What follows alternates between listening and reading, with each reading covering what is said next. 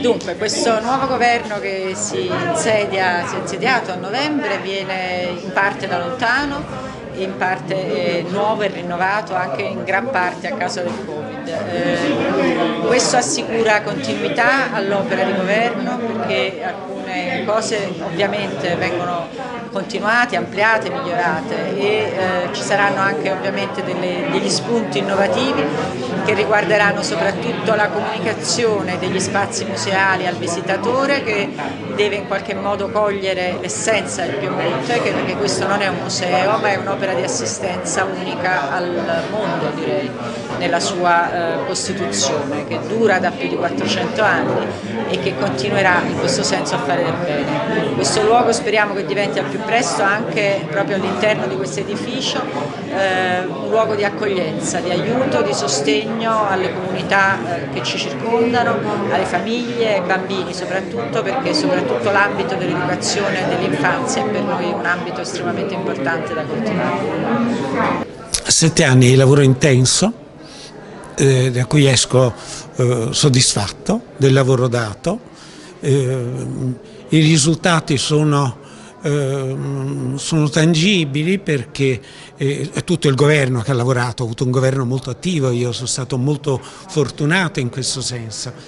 E abbiamo realizzato il programma che ci eravamo dato, l'abbiamo portato a compimento e questa è una grossa soddisfazione. È un programma che ha visto al centro, nella sua centralità del nostro lavoro c'è stata l'assistenza. Questo questo concetto che avevamo, è rimasto un po' per noi martellante giorno dopo giorno, come migliorare la nostra vicinanza ai, ai deboli.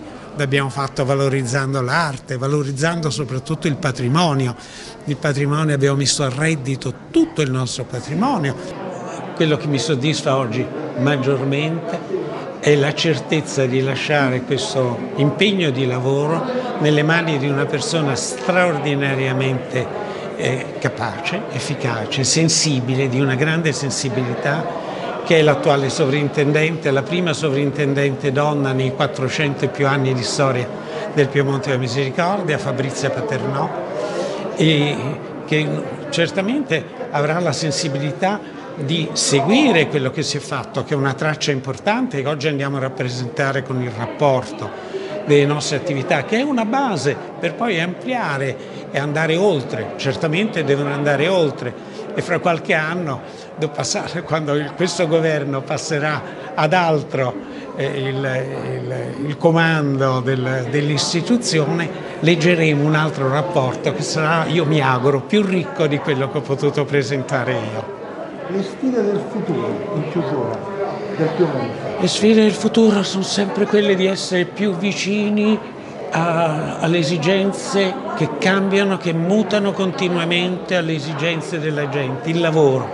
Il lavoro è la grande sfida che investe anche noi. E per me è stato sempre il motivo eh, di, della massima attenzione. Io ho considerato il lavoro la vera opera, dare il dare lavoro la vera opera di misericordia Abbiamo fatto delle azioni importanti in questo senso, con giovani che oggi si sono moltiplicati, Santa Lucella ne è un esempio, e, e questo dovrà essere la sfida nuova di questa istituzione. Andare sì incontro a chi ha bisogno, ma soprattutto costruire le opportunità per dare, per dare lavoro. Grazie. No? E per presentare soprattutto il rapporto delle attività del Piemonte negli anni compresi dal 2015-2021 che per la prima volta è raccolto in un eh, documento che, eh, che oggi vi presenteremo e che spiega quali sono state le molteplici attività e gli obiettivi raggiunti dal governo che ci ha preceduto. Dunque il nuovo governo eh, vede ancora in carica alcuni del precedente, e eh, sono, il, sono, Nicola Caracciolo che è governatore al culto e all'assistenza. Alza la mano Nicola così. Ti, ti vedono.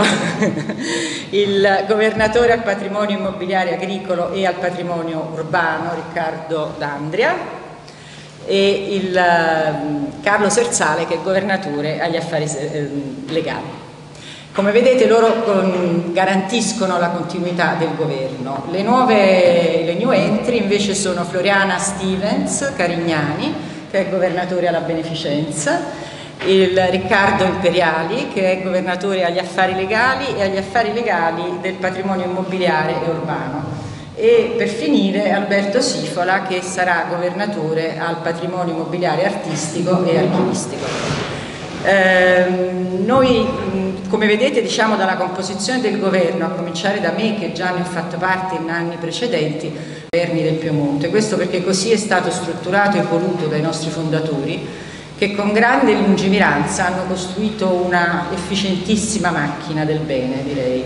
Se pensate che il nostro statuto da più di eh, 400 anni ha subito pochi... Che la gente poi venga a questo monte e noi, noi vogliamo accogliere, siamo un'accoglienza.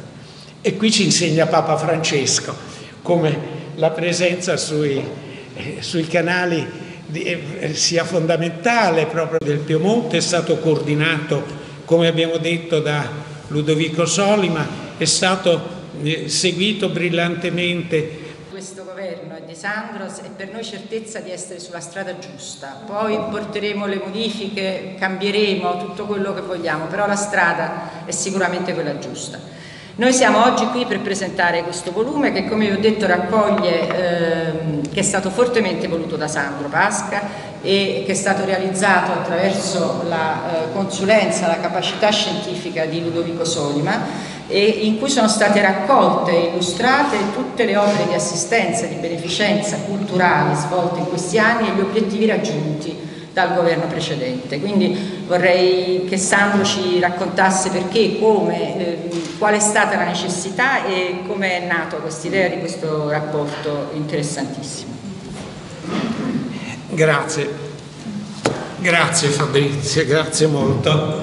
E grazie alle tue parole affettuosissime che poi, che poi si allargano a tutto il governo, tutto il governo chiaramente, perché ho avuto modo in questi anni di, di, lavorare, di lavorare, insieme, ma nel vero, nel vero senso della parola, quindi un coinvolgimento di tutti su tutte le decisioni assunte. Il lavoro è stato, è stato tanto, qui in qualche modo indicato. E la necessità di presentare questo rapporto in effetti nasce da, una, da un primo colloquio con eh, il professore Solima, con Ludovico, che già anni fa ci fece rilevare come le nostre attività, tutto quanto si faceva, che lui conosceva all'interno del monte, fosse chiuso in queste stanze. In effetti all'esterno non compariva. Questo direi che è congeniale ad un'istituzione benefica come noi siamo, perché, eh, perché, siamo stati sempre abituati in tutti questi anni, centinaia di anni, così si è fatto, si è lavorato, ma si è lavorato in silenzio. Oggi eh, sicuramente le esigenze sono diverse, c'è necessità di portare fuori, di coinvolgere, di non restare chiusi all'interno coscienti di aver fatto il proprio dovere, ma chiusi e non portando la conoscenza fuori e non coinvolgere. Noi abbiamo necessità sempre più di lavorare insieme, lavorare con altri. Questo che è lì ha coordinato questo lavoro, eh, non nomino tutti. E, è stato un lavoro collegiale, è un lavoro che è stato messo a disposizione del nuovo governo, un governo straordinario, l'avete sentito, è un governo eh, che prende in pieno, che dà continuità alle azioni precedenti, ma che vuole innovare e che ha tutte le capacità per innovare, per le professionalità all'interno a collaborare. Quindi il compito del sovrintendente, di questa nostra straordinaria sovrintendente, che ha già vissuto eh, le esperienze del governo ma non solo di questo, perché poi è ben collaborata. Quindi abbiamo avanti un periodo molto bello di rinnovamento sicuramente, e già conosco, verranno enunciate da loro e, e quindi questo dà tranquillità e sicurezza. Vorrei spendere una parola al Museo Archeologico Nazionale di realizzare questo stesso tipo di eh, questo tipo, strumento di comunicazione. Artisti eh, senza patria, quelli che non hanno ancora trovato un luogo dove eh, poter esporre, perché le gallerie non li prendono, per i musei sono troppo giovani, a volte sono talenti che hanno bisogno... Adesso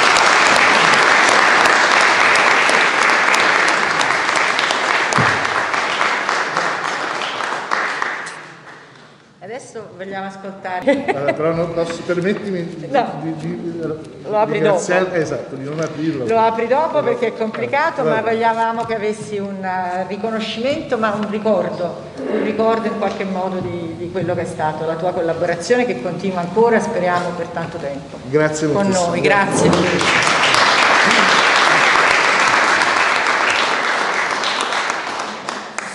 Dunque, quello che dicevo, noi siamo custodi di un patrimonio di bellezza e di cultura immenso, attraverso gli infiniti documenti e volumi che sono contenuti nell'archivio. E come mi ricordava l'altro giorno eh, Pierluigi Rocco, noi siamo anche custodi di una cultura e di un'attenzione da parte di persone esigenti, colte, che cercano da noi delle risposte in questo senso, che cercano in questo luogo anche un livello Questo rapporto eh, nasce da quelle che io immaginavo potessero essere due diverse esigenze di comunicazione, una verso l'esterno ma anche una verso l'interno. Eh, verso l'esterno eh, mi sembrava comunque importante eh, disporre eh, di uno strumento che potesse rappresentare, o meglio presentare in una maniera eh, ordinata, in maniera strutturata, tutte le diverse attività svolte dal Piemonte nel corso degli ultimi anni. E questo, questa esigenza di, di, diciamo, di, di presentazione esterna è, è, è stato già accennato, ma insomma è molto significativa perché ovviamente il Piemonte si relaziona con uh, una serie di soggetti e, e, e, si relaziona anche con una comunità alla quale appartiene e alla quale si uh, rivolge. E quindi, come dire, ci sono tutta una serie di soggetti eh, con i quali il, il, Piemonte intrattiene in questo momento delle relazioni, ma ci sono tanti altri soggetti con i quali il Piemonte potrà intessere delle nuove relazioni nel futuro. E allora uno strumento che possa raccontare, secondo quello che poi è anche una terminologia anglosassone viene chiamata accountability, cioè dar conto delle risorse che il Piemonte ha ricevuto e, di come soprattutto sono state impegnate queste risorse, questo diventa un elemento molto molto importante anche per lo sviluppo delle relazioni future. Eh, però ecco, c'era un'altra esigenza che io ho avvertito anche in fondo da osservatore un po' interno ma anche soprattutto esterno, devo dire, cioè che eh, eh, come, come, come, diceva il Barone Pasca, molto spesso eh, il Piemonte veniva identificato con il Caravaggio. Quindi paradossalmente il, il Caravaggio eh, poneva sotto un cono d'ombra tutte le altre attività che poi invece rappresentano quello che poi è, è realmente eh, il, compito eh, e la finalità di quest'ente, cioè tutte le attività di assistenza e di eh, beneficenza. E loro un riconoscimento anche esterno, perché magari tutto questo poi eh, altrimenti passa come dire, sotto traccia. Uh, il uh, rapporto di attività è uno strumento di comunicazione eh, in realtà molto consolidato, soprattutto a livello internazionale, non è qualcosa che io ho inventato. Uh, io mi occupo insomma, principalmente di, di, di